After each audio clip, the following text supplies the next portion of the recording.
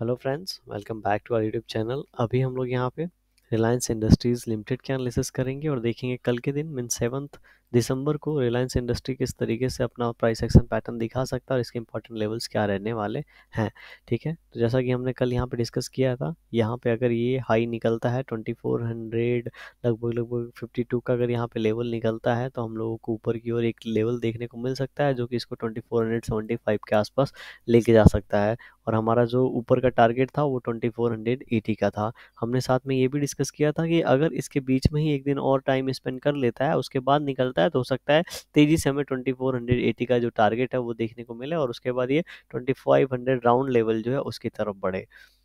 तो आज क्या हुआ? आज यहाँ पे फिफ्टीन मिनट टाइम फ्रेम पे चलते हैं। फिफ्टीन मिनट टाइम फ्रेम पे देखेंगे। आज थोड़ा सा इसके अंदर ही ओपन हुआ था और चूँकि कि मैंने आपको कल बताया था कि अगर यहाँ पे इस बीच ओपन होता है तो ये जब नीचे जाएगा तो ये लेवल एक सपोर्ट की तरह काम करेगा। उसके बाद ये ऊपर की ओर निकल जाएगा, ठीक है? ऊपर की ओर जाने के बाद ट्वेंटी फोर सेवेंटी के पास बहुत ज़्यादा इसने टाइम स्पेंड किया है। मतलब बायर्स अपने आप को अगेन यहाँ पे ऊपर की ओर होल्ड कर रहे हैं। तो यहाँ पे कल के दिन क्या हो सकता है? अगर 2470 का ऊपर की ओर ब्रेकआउट होता है तो 2480 का हम लोग को पहला टारगेट देखने को मिल सकता है। प्लस हम लोग को क्या ध्यान ध्यान में रखना है यहाँ पे? हम लोग को ये सारी चीज़ें ध्यान में रखनी होंगी कि यहाँ पे एक ट्रेंड लाइन चल रहा होगा, ठीक है? यहाँ पे ये एक ट्रेंड लाइन चल रहा है, आप सभी को दिख रहा होगा ये वाला ट्रेंड लाइन अब इस ट्रेंड लाइन को ही हम लोग को फॉलो करना है। अभी मान लेते हैं कल मार्केट यहीं पे कहीं पे ओपन होता है, ठीक है? Twenty four hundred seventy sixty two के बीच में। तो अगर कोई तुरंत पोजीशन बना रहा होगा तो उसको इसी कैंडल के नीचे जस्ट यहाँ पे एसल रखना चाहिए, क्योंकि अगर ब्रेक डाउन होता है, ठीक है? तो उस केस में ट्वेंटी फोर हंड्रेड फिफ्टी के आसपास आएगा और टाइम स्पेंड करके फिर से इसको ब्रेक करके इस जोन में आने की कोशिश करेगा। अगर यहाँ से ऊपर निकलता है, इसके बीच में ऊपर निकलता है तो यहाँ से हम लोग को जैसा कि हमने बात किया, ट्वेंटी फोर हंड्रेड एटी का पहला टारगेट एंड नाइन्टी का हम लोग को ऊपर की ओर दूसरा टारगेट देखने को मिल सकता है। लेकिन जब भी एटी टच होगा तो वहाँ पे ध्यान देंगे, एटी टच होते ही हम लोग को एक थोड़ा सा सेलिंग प्रेशर हम लोग को नज़र आ सकता है। क्योंकि लास्ट टाइम जो यहाँ पे सेलिंग आया था ठीक है?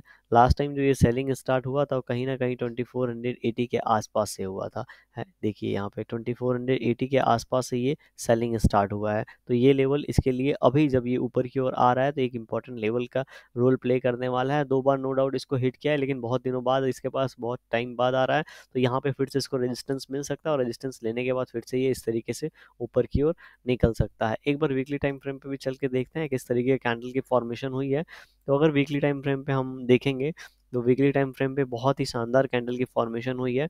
जैसा कि हमने यहाँ पे बात किया था कि अगर यहाँ पे रुक जाता है नेगेटिव कैंडल बन जाता है तो बहुत ही अच्छी बात है, लेकिन अगर यहाँ पे हॉल्ट कैंडल जिस तरीके से बना के निकला है, ठीक है लास्ट टाइम जैसा ये हॉल्ट कैंडल था फिर से तो यहाँ पे एक ऊपर की ओर मोमेंटम देखने को मिल सकता है, लेकिन हम लोग मैक्सिमम कितना यहाँ पे एक्सपेक्ट कर रहे हैं, इस बार हम लोग मैक्सिमम ट्वेंटी से लेकर ट्वेंटी तक का ही इस कैंडल में एक्सपेक्ट कर रहे हैं मोमेंटम ठीक है। तो अगर यहाँ पे आके क्लोजिंग देता है तो बहुत ही स्ट्रॉन्ग क्लोजिंग हो गए तो फिर से नेक्स्ट वीक में हम लोग को फिर से ऊपर की ओर 2550 तक का टारगेट देखने को मिल सकता है। लेकिन अगर कहीं पे ये कैंडल की क्लोजिंग कहीं पे बीच में हो जाती है तो फिर हम लोग को हो सकता है एक वीक यहाँ पे हॉल्ट देखने को फिर से मिले। ठीक है? तो ऐसे एक्सपेक्टेशन प्राइस एक्शन पैटर्न की एक्सपेक्टेशन है प्रिडिक्शन प्रॉबिलिटी यहाँ पे नज़र आ रही है। ठीक है? यहाँ पे कोई भी प्रिडिक्शन नहीं होता है, सारी प्रॉबिलिटी पे ही, सारा प्रॉबिलिटी का ही यहाँ पे गेम है। राइट तो कल के दिन हमारे लिए इंपॉर्टेंट लेवल्स कौन से होंगे? ऊपर के लिए तो हमने डिस्कस कर लिया और नीचे के लिए भी हमारे जो इंपॉर्टेंट लेवल्स होने वाले हैं और ये स्कैंडल कैंडल का लो इस कैंडल का लो कितना है? Twenty four hundred fifty seven तो twenty four hundred fifty seven है तो ट्वेंटी फोर हंड्रेड 54 का अगर ब्रेक डाउन होता है तो ये नीचे की ओर आएगा और नीचे की ओर जब भी आएगा तो ये लेवल सभी एक सपोर्ट की तरह काम करेंगे। ठीक है? 2440 2420 से लेके 30 तक का ये सपोर्ट का काम करेगा तो तेज़ी से नीचे आ नहीं पाएगा। तो बायर्स फिर से अपने आप को कहीं ना कहीं ऊपर की ओर होल्ड करने वाले हैं इस शेयर के अंदर। तो यहाँ पे कल के दिन ऊपर की ओर मोमेंटम होता है तो एक अच्छा मोमेंटम हम लोग को देखने को मिल सकता है। वीडियो कैसी लगी कमेंट सेक्शन में बता सकते हैं। पसंद आई होगी तो लाइक कर सकते हैं। चैनल पर नए होंगे, सब्सक्राइब कर सकते हैं। कोई भी डिसीज़न लें, उसके पहले खुद के एनालिसिस ज़रूर करें। Thank you for watching this video